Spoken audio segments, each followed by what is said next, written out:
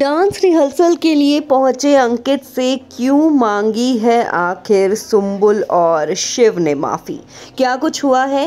Finale में क्या details निकलकर सामने आ रही हैं? सेट से क्या अपडेट आ रही है?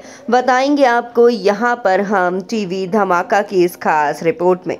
बहुत स्वागत है आपका टीवी धमाका पर और यहाँ अभी आपके लिए एक बड़ी अपडेट लेकर हम हाजिर हैं। अंकित गुप्ता, जो फिनाले में रिहर्सल्स के लिए पहुँचे हैं डांस परफॉर्मेंस के लिए। जैसे हमने आपको बताया ही था, अंकित और प्रियंका का साथ में एक डांस परफॉर्मेंस होने वाला है और इसी की रिहर्सल के लिए अंकित घर के अंदर पहुँचे। जब वो घर के अंदर पहुँचे तो शिव और सुम्बुल ने आखिर क्यों अंकित से माफ़ी मांगी? किस बात की माफ़ी मांगी है आपको बताएँ? उससे पहले अगर आपने नहीं किया है अभी तक हमारे चैनल को सब्सक्राइब तो चैनल को सब्सक्राइब ज़रूर कर दीजिए ताकि ऐसे ही अपडेट्स आपसे बिल्कुल भी मिस ना हो।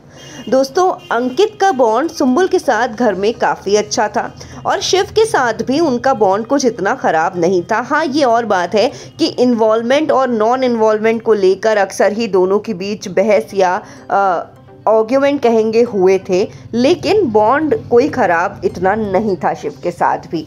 पर यहाँ पर क्या हुआ है? अब क्यों अंकित से माफ़ी मांगते हुए नज़र आए हैं शिव और सुम्बुल? वो इसीलिए क्योंकि अंकित गुप्ता जब घर से गए थे, उस वीक साफ़ तौर पर सारे घर वालों ने प्लान किया था उन्हें एलिमिनेट करने का। मंडली तो थी ही इसमें शामिल। मंडली के साथ अर्चना गौतम भी आकर शामिल हो गई थी और को उस हफ़्ते वोटिंग लाइंस ओपन नहीं थी। मेकर्स ने बड़ी चाल चलकर अंकित गुप्ता को घर वालों के वोट के आधार पर ही एलिमिनेट करवाया था। और इसी बात को लेकर अब सुम्बुल और शिव माफ़ी मांगते हुए दिखे डांस रिहर्सल के दौरान अंकित से कि भाई ऐसा कुछ हमारे मन में नहीं था गेम था जो भी किया, वो गेम के लिए किया। पर्सनली कोई हार्ड फीलिंग्स हमारे दिल में नहीं है, कोई गिला शिकवा नहीं है। इस तरह की बातें कहीं शिव और सुम्बुल ने अंकित से जब ये तीनों मिले दोबारा से बिग बॉस के घर में और एक तरह से माफ़ी मांगते हुए नज़र आए शिव और सुम्बुल अंकित से। उन सारी बातों के लिए जो कभी भी उन्होंने अंकित के खिलाफ बोली या एलिमिनेशन के दौरान जो कुछ भी हुआ था,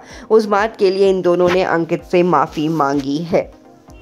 अंकित गुप्ता इस वक्त कलर्स के ही एक शो में नज़र आने वाले हैं। जुनूनियत नाम से इस शो में अंकित नज़र आने वाले हैं जल्दी ही। प्रियंका चहर चौधरी के पास भी बहुत सारे असाइनमेंट्स हैं जो बाहर आकर वो पूरे करेंगी। क्या सोचते हैं आप इस बारे में? आप अपने कमेंट्स के ज़रिए हमें बता सकते हैं। बिग बॉस 16 में कौन आपका सबसे फेवरेट है, ये भी बताइए। वीडियो अच्छा लगा हो तो वीडियो को लाइक और चैनल को सब्सक्राइब कर दीजिए।